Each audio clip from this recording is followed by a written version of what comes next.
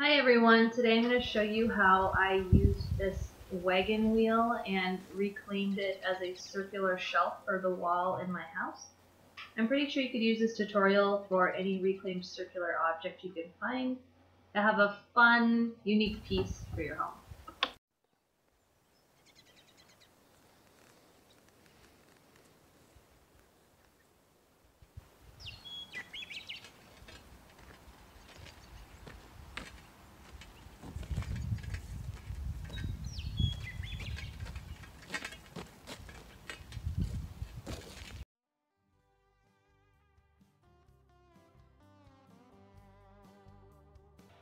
On my wheel, all the inner rungs were just attached by some wires wrapped around the outer wheel, so I just used wire clippers and clipped those off to remove the wood, and as you can see, it was all pretty rotten and unusable.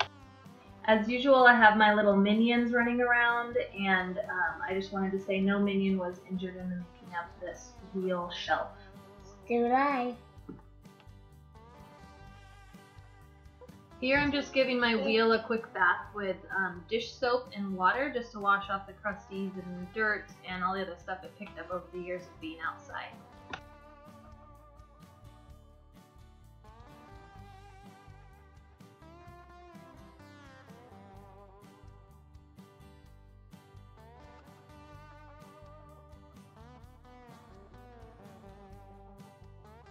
I started out by getting a rough measurement of about where I wanted my shelves to be, and then I cut them a little longer than what I think I would need them, just to make them a little easier to work with in future steps.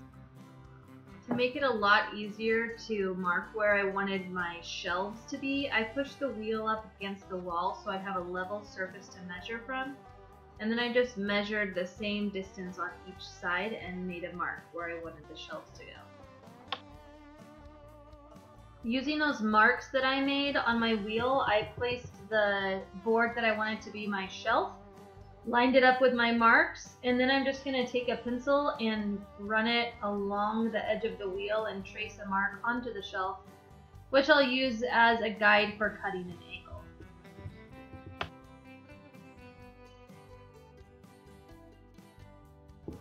Repeat that process for both of the shelves. I really tried to love the rustic aged patina that was on the wheel, but it just didn't go with our the style of my house. So here I'm spraying it with a stain blocking primer. And then I went ahead and spray painted it black. While I waited for the wheel to dry, I sanded down my shelf boards quickly and then gave them a stain so that they would have kind of a contrasting effect with the black of the wheel.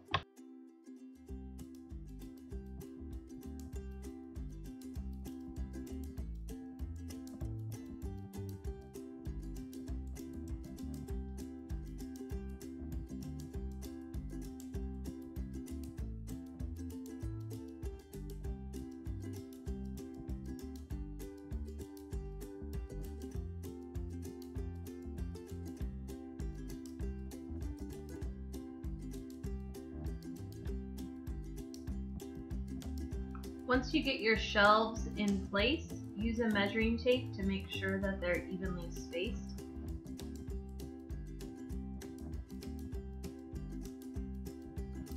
I applied E6000 glue to the ends of my shelves to adhere them to the metal part of the wheel. And this has worked really good. This glue is super strong and they're not wobbly at all.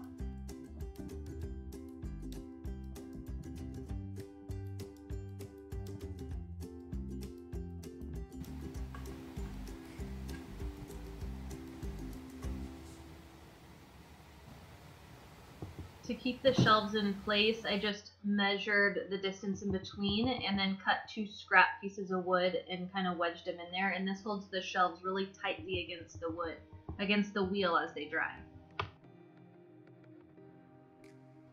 Since my wheel weighs about 60 pounds, I made sure to locate a, a stud in the wall to hang it from.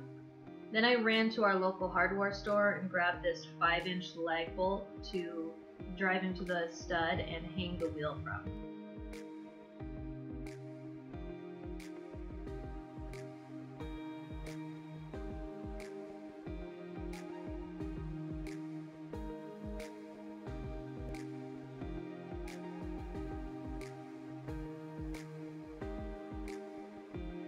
Once I had my bolt in, I was ready to hang my shelf up.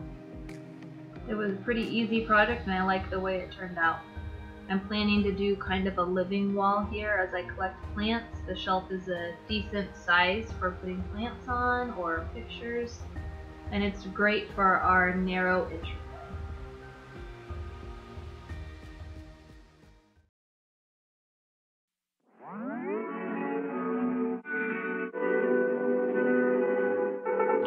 Oh, one mile in fog patches and showers early Friday, but improving to greater than six miles on Friday morning. Bright.